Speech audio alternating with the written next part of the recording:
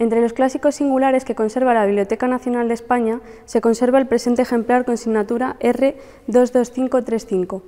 Se trata del único ejemplar conservado de la edición de las Comedias Sex de Terencio, impresas en Alcalá de Henares en 1563 por Pedro de Robles y Francisco de Cormellas. Consta de 375 páginas en formato octavo, con tipografía redonda y cursiva, con apostillas marginales y reclamos. Consta de capitales hilográficas al comienzo de las comedias y de algunos argumentos. El ejemplar se encuentra en excelente estado de conservación, a pesar de que se encuentra deteriorado en la parte inferior del lomo y de que se observan algunos restos de xilófagos en las páginas iniciales del ejemplar, si bien estas no afectan a la lectura. Es característico de este ejemplar que las marcas de los impresores se encuentran recortadas tanto en la portada como en el colofón.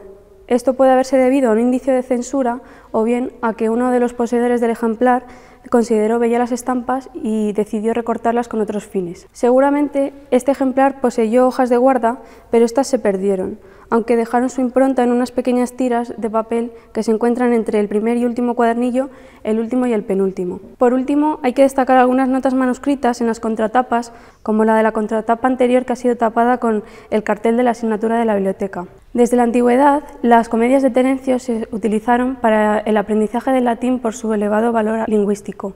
Su uso, aunque continuó durante la Edad Media, se acrecentó durante el Renacimiento debido a la carga moral de las comedias de Terencio que se prefirieron por delante de otros autores como Plauto. Terencio, junto con Cicerón, formó parte del currículo académico europeo.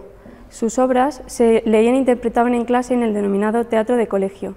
El estudio de Terencio fue introducido en España en, el último tercio del siglo XV por influencia italiana. Prueba del éxito de las comedias de Terencio en España es que en el periodo que va desde finales del siglo XV y que abarca todo el siglo XVI se imprime un total de 21 ediciones en latín, tres ediciones en latín con la traducción de Pedro Simón Abril en versión bilingüe, una edición escolar y un diccionario de términos de Cicerón y de Terencio. Todas estas ediciones se estudian en la base de datos Beclar y son consultables en línea en las webs de Cicle y de Cicle.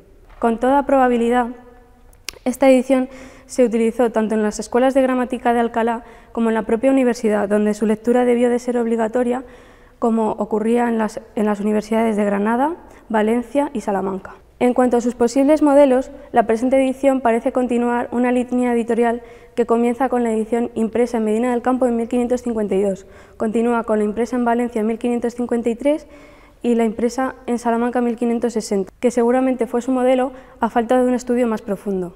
Esta nueva edición, en todo caso, se distingue claramente de las ediciones impresas en España en años precedentes, a saber, la de Barcelona 1498 y la de Zaragoza 1524, y se aproxima más a las ediciones aldinas, debido en primer lugar al formato en octavo en lugar del formato folio y formato cuarto. Por otro lado, presenta una tipografía redonda y cursiva que deja atrás la tipografía gótica de las ediciones anteriores. En segundo lugar, como ocurre con la edición impresa en Venecia en 1517 por los herederos de Aldo, las comedias de Terencio eh, se encuentran únicamente introducidas por la Vita Terenti de Donato, acompañadas de las Periocae de Gallo Sulpicio Apolinar y los cuadros de personajes. Otro punto en el que se aproxima a las ediciones aldinas es que el texto de las comedias se ve desprovisto del comentario de Donato y de Calfurnio, como se observaba en las ediciones de Barcelona 1498 y Zaragoza 1524, aunque se observan unas apostillas marginales que comentan algunos aspectos de la obra. Estas son unas notas iniciales de un estudio más profundo que se realizará sobre la presente edición de la que, como hemos dicho, este es el único ejemplar conservado. Como conclusión, el presente ejemplar constituye una pieza fundamental para conocer la tradición impresa hispana de Terencio y su relación con las tradiciones impresas europeas. Además, es imprescindible para conocer la influencia de Terencio en el Renacimiento español, así como para conocer la historia de la educación en España, que desde finales del siglo XV tuvo como pieza clave del currículo académico la obra de Terencio.